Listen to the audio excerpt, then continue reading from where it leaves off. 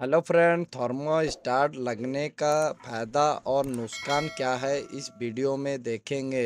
सबसे पहले लगने से फ़ायदा क्या? थर्मोस्टाट भाल्व ये इंजन को सही टेम्परेचर प्रोवाइड करता है, जल्दी से टेम्परेचर प्रोवाइड कर देता है। 90 से 95 डिग्री तक जल्दी से टेम्परेचर लेके जाता है कंटिन्यूस 80 से 90 डिग्री तक सही परफॉर्मेंस इंजन को बढ़िया चलाता है। इसे निकाल के फेंक देने से क्या क्या नुकसान होता है? फ़र्स्ट में इसे निकाल के फेंक देने से तीन बड़ा नुकसान हो सकता है। फ़र्स्ट, इंजन का लाइफ ख़त्म। आदमी का सर पर दर्द हो तो क्या होता है? तो दिमाग गर्म हो जाता है। तो सेम प्रोसेस इंजन में तो ऐसे ही 80 से 90 डिग्री तक ये मेंटेन करके रखता है कंटिन्यूस और इसे निकाल देने से इंजन का लाइफ ख़त्म हो जाता है। थर्मो स्टार्ट भाल्व में पतला सा रास्ता रहता है।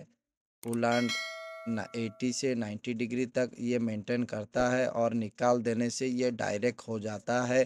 गैसकेट कटने का चांस होता है और इंजन का लाइफ ख़त्म हो जाता है। आप गर्म इलाके में रहते हो थर्टी परसेंट आपका इंजन में इफ़ेक्ट करता है। यदि आप ठंडा इलाके में रहते हो हंड्रेड परसेंट ये इंजन को इफ़ेक्ट करता है। एस में होस पाइप और गैसकेट का फटने का चांसेस होता है। ये क्यों पता है? हमने थर्मोस्टाट भाल्व को निकाल दिया तो थर्मोस्टाट का रास्ता होता है अंदर और बाहर। जाने का, फ्लो होने का। वो होता है, बहुत ही छोटा होता है। हम उसे निकाल के फेंक देने से जो एल्बो का रास्ता है, बहुत बड़ा होता है फ्लो।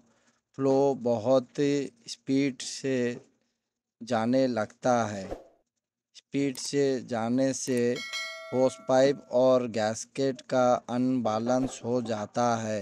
होस पाइप और गैसकेट का फटने का चांस ज़्यादा होता है। उसका प्रेशर अनबैलेंस अनलिमिटेड हो जाता है। जितना गाड़ी चलाएँगे, कोई ना कोई पाइप या गैसकेट फटने का ज़्यादा रहता है। तीन नंबर माइलेज ख़राब हो जाता है। अगर थर्मो थर्मोस्टाट का बाल निकाल के फेंक देने से। थर्मो थर्मोस्टाट वाल अगर आप निकाल देते तो गाड़ी जल्दी से गर्म नहीं होगा, गाड़ी ठंडा रहेगा।